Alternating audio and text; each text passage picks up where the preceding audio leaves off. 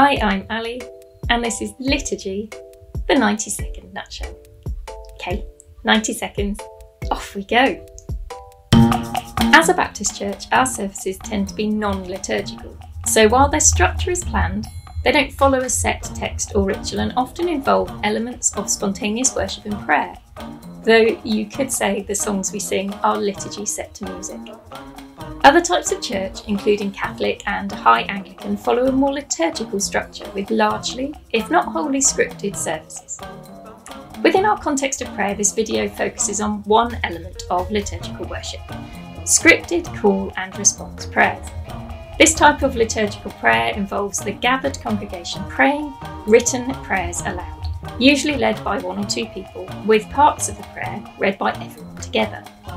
This type of liturgical prayer doesn't appeal to everyone. Some people don't enjoy reading scripted prayers or feel constrained by praying using other people's words or just feel it's old fashioned and a bit dull. But liturgy can actually be an exciting way to pray.